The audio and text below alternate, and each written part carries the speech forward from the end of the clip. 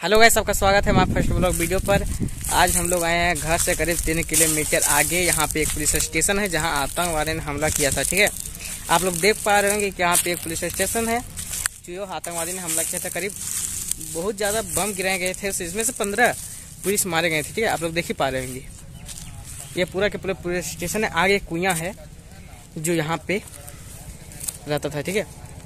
गाँव में अधिकतर आप लोगों को चापाकल नहीं कुया मिलेगा अधिकतर, ठीक है?